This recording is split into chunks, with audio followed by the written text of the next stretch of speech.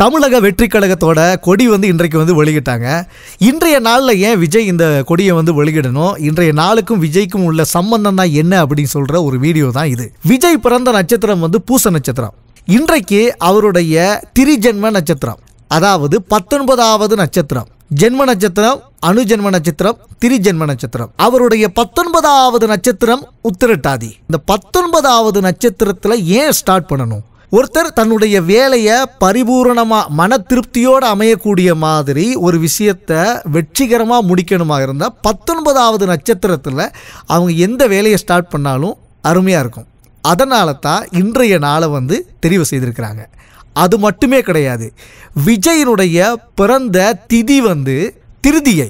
இன்றைய நாளும் திருதியை திதி தான் இதில் இன்னொரு விஷயம் முக்கியமான விஷயம் ஒளிஞ்சிருக்கு. என்ன அப்படின்னா இன்றைக்கு மகா சங்கடகர சதுர்த்தி.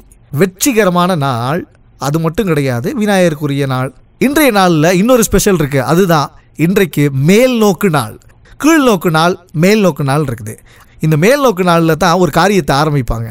விஜய் பிறந்தது கடகராசியில் துலாம் லக்னத்தில் பூச நட்சத்திரம் இரண்டாம் பாதத்தில் வந்து பிறந்திருந்தார். இவ்வளோ விஷயங்கள் நம்ம வந்து இதில் இருக்க ஒற்றுமைகள்லாம் பார்த்தோம். இன்னும் ஒரு முக்கியமான விஷயம் இருக்குது அப்படி என்னன்னு கேட்டிங்கன்னா விஜய் பிறந்தது பூச நட்சத்திரத்தில்.